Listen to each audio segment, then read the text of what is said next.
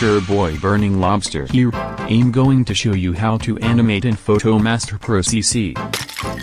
First take and freeze this little button. Now you got to name your masterwork, like I'm gone do do do do.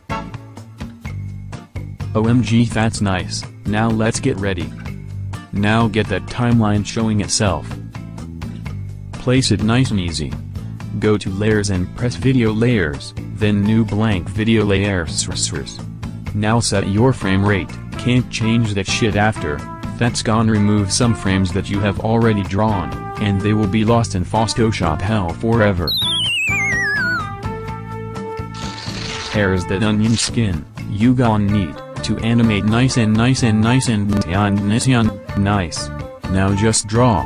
You silly goose. But remember you can use your page up and down keys to go to next or previously drawn frames, if you have enabled the timeline shortcuts.